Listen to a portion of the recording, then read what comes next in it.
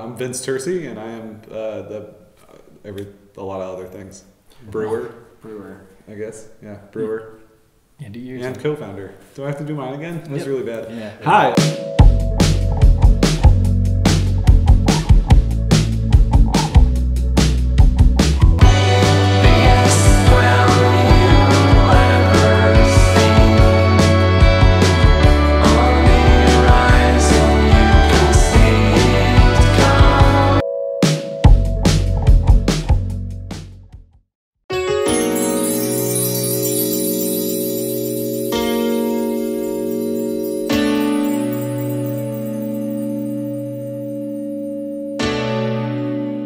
My name is Mike Semenek, and I am the creative sensei. I'm also co-founder of DSSOLVR.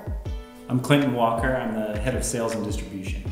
Hi, I'm Vince Tursi, and I am the brewer and co-founder for DSSOLVR. Uh, yeah, so it all started maybe 10 years, just under 10 years ago. It might be 10 years ago now. When Mike and I were working at a liquor store in Allston, Massachusetts.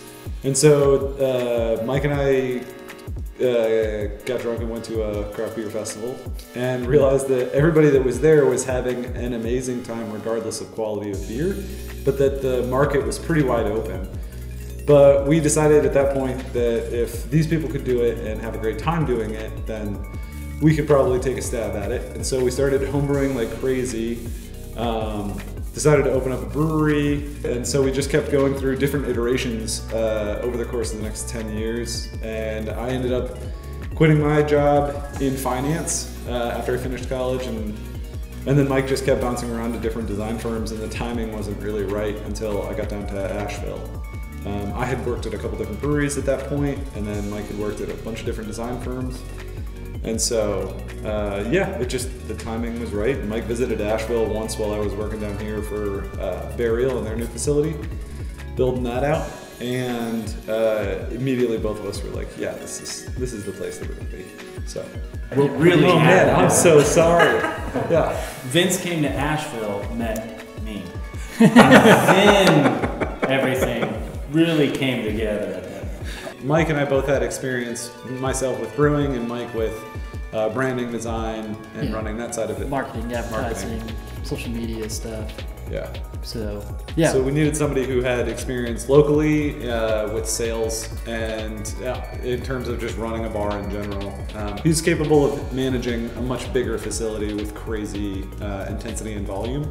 So we needed that, and uh, Clinton's pretty cool. So here we are. I, I, basically, I hyperbolized my experience, jumped on them coattails. Here we are. Yeah. We pick and pull from our different experiences, and Mike and I are like big Tim and Eric and uh, like cartoon fans, um, and so like just the surrealistic aspect of that just keeps our brains working. And then Clinton's the boots on the ground, so we get all of the weird shit that we're bringing, and then like how is that comparing to what other people are doing, and then the feedback that we're able to get from what other breweries are doing and how that's being perceived in real life, um, in real time, is, is able to be relayed through Clinton. So we've got like a finger on the pulse while still maintaining a sense of weirdness. So uh, it's fairly accurate. Um, but at the same time, we've also made our name by producing a consistent line of super traditional English beers and super traditional lagers that we really don't pull a single punch on. And we uh, will age it for an appropriate amount of time or lager it for an appropriate amount of time, like a painstaking amount of ingredient sourcing. Uh, and then at the same time, we've done all of that while staying as local as possible within 500 miles of the brewery.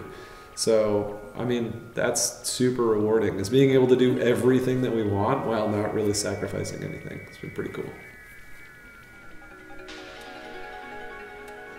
My goal is really to match the creativity that he's bringing through the brew house. It's just like, you know, him developing these recipes. Like, you know, we're dropping at least two to three new products a week, and to match that with, with graphics is uh, it's it is a real challenge.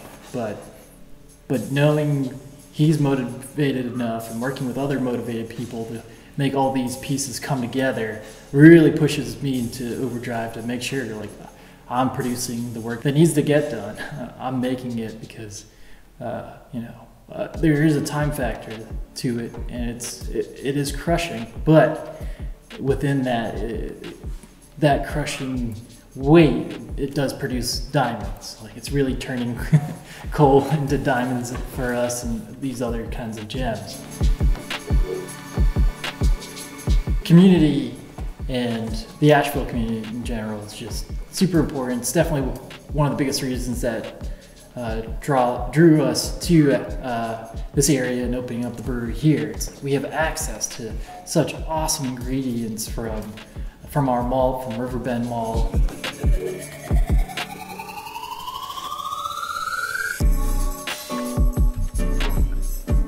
To uh, being able to source yeast right from a yeast lab that's right in town with White Labs.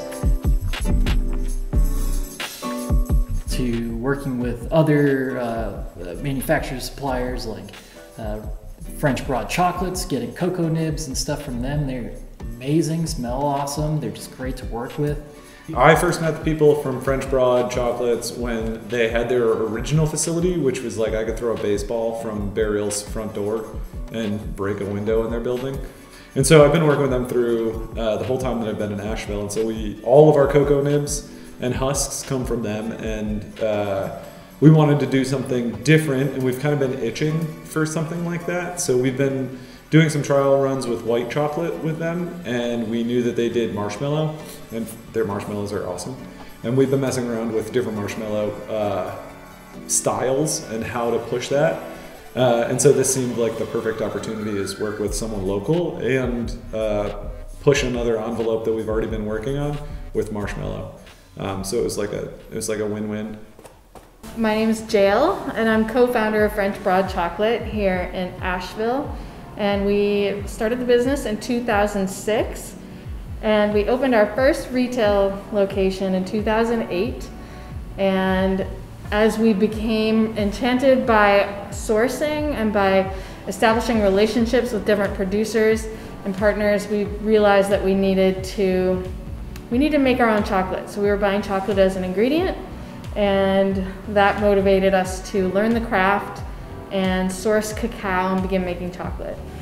Uh, so on top of the chocolate, um, we had some of your marshmallows like a while back. I think I sent one of my guys to pick up cocoa nibs, and he came back with cocoa nibs and marshmallow, and I was like, what? But then we tried it, and we were like, oh my god. Uh, and we've been messing around with marshmallow as a, an enhancement for IPA. So we're going to do marshmallow to help uh, for aroma and mouthfeel, and then uh, white chocolate, I think. Mm-hmm. We were talking about is like depending on how much of the marshmallow character we get, we're going to bump it up with white chocolate. Like you know, both I think both in um, you know craft beer and in craft chocolate, creativity is the driving force. That's the motivation. That's the passion. Um, so when you get two businesses that are just kind of open-minded and like to explore and innovate together, um, you can make some really crazy and creative um, things that, um, yeah, are really exciting. Yeah. To be able to have access to something like this in our backyard and it's all fresh and we can have a, an actual conversation with a real person about it is great. And like you guys pitched us on the cocoa powder. Yeah. So, yeah. I think that coming together two um, innovative industries and innovative um, companies can kind of play. Um, and like, what if we did this? Let's try this. Would you try this? We have this product left over from making this. And then we can just kind of figure out something cool, make yeah. something cool together. Yeah. One day a week is packaging, and that is every Tuesday now. It was a struggle to get it to be every Tuesday. Mondays are typically a brew day, and we'll kick things off. Uh, every day starts off at 7 a.m.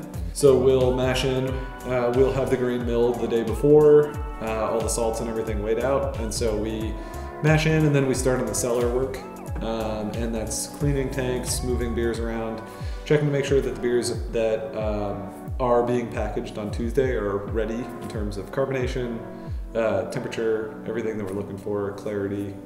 And we use a lot of serving tanks instead of kegs. Um, about half of our draft line is serving tanks. So it's like, think of it as like one large keg. Uh, you know, you hook it up and then uh, it all comes out of one tank versus swapping out kegs. Um, so there's a lot of just like keeping our finger on the pulse and then adjusting day by day for what needs to be done.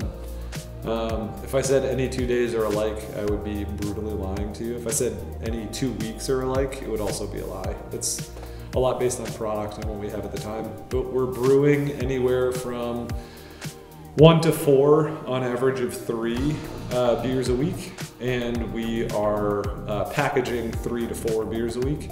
Um, because now that we have the sour program and uh, like clean bourbon barrels, we're able to pull stuff from those a little bit more frequently.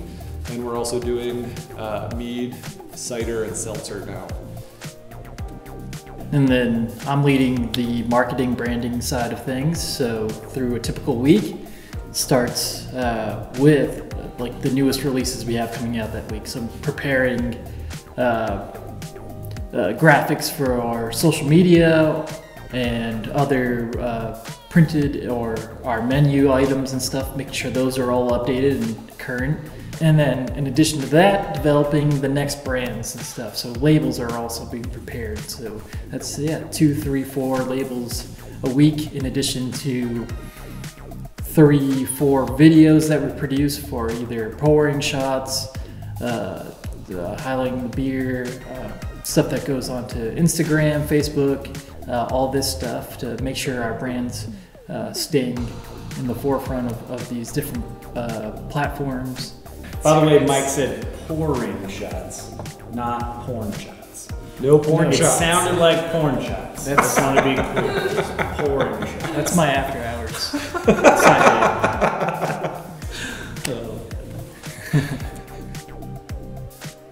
I think this applies to all of us where we've had some level of success working for other people, but then, you know, working for ourselves. This is for me and my friends, and we're, you know, doing this for ourselves and for each other, and that's an incredible feeling. Um, the most difficult part is that was that the other part of this question? Yeah, me. the most difficult part of Clinton's job is me. Uh, I mean, I think that part of what is rewarding is what is difficult, and like that's. I think it's as simple as that. Like I like, we all like the challenge. We wouldn't do my Mike especially. Like there's no money in brewing. Um, there's no money in being a manager of a bar or restaurant, but a graphic designer, I mean, he should be making way more money than he's making, but he he's doing that. he's it's too late. He's literally giving us every dollar he's got. The, the most rewarding thing is, I'd say every Wednesday we, we release a new product in, into the zeitgeist.